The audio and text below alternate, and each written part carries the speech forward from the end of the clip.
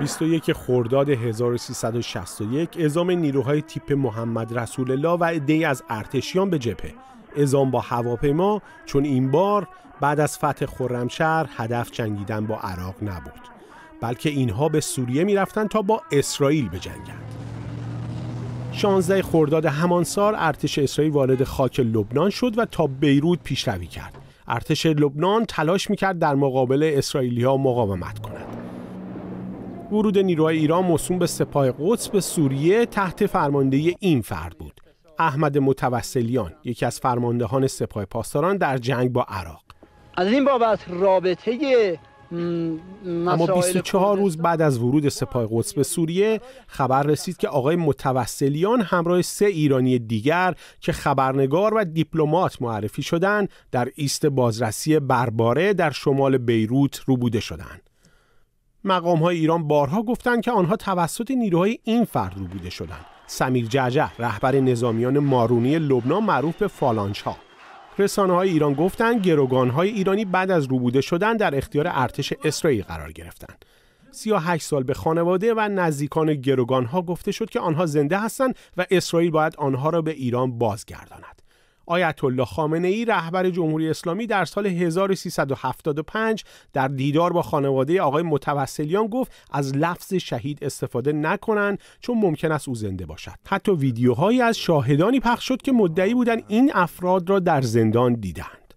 بعد حاج احمد رو شناختم که از من درباره خودم و هویتم پرسید. با وجود چنین شاهدانی که گویا صحنه یک فیلم سینمایی را تعریف می‌کردند زمزمه هایی از کشته شدن گروگان ها در این سالها به گوش می رسید. اولین بار به طور رسمی در سفر محمود احمدی نژاد رئیس جمهوری پیشین ایران به لبنان و پافشاری او برای مشخص شدن وضعیت گروگان ها گفته شد که آنها به دست شبه نظامیان مارونی کشته شدند.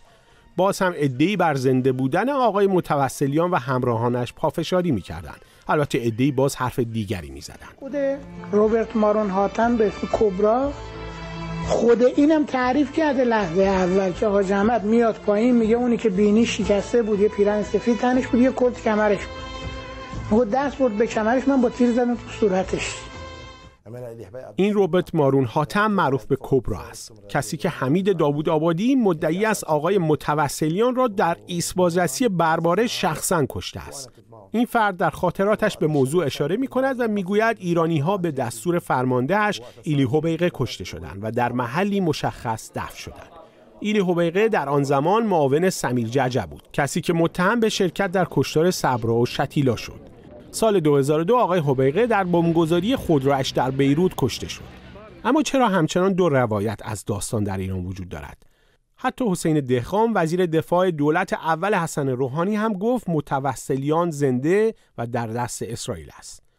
بازگردیم به این پرواز به سوریه. وقتی سپاه قدس به مقصد رسید حافظ اسد رئیس جمهوری وقت سوریه به توافق صلحی با اسرائیل رسیده بود. توافقی که هنوز علنی نشده بود. در نتیجه این توافق نیروهای ارتش سوریه در بیروت و قسمت‌های از لبنان باقی می‌ماندند و با ارتش اسرائیل درگیر نمی‌شدند. ورود نیروهای ایرانی به سوریه برای جنگ با اسرائیل به دستور آیت الله خمینی کاملا آنها را گیر کرد. بنابراین نیروهای ایرانی در پایگاه نظامی زبدانی سوریه مدتها تحت نظر ارتش این کشور محصور بودند و از ورود آنها به لبنان و درگیری با اسرائیل جلوگیری شد.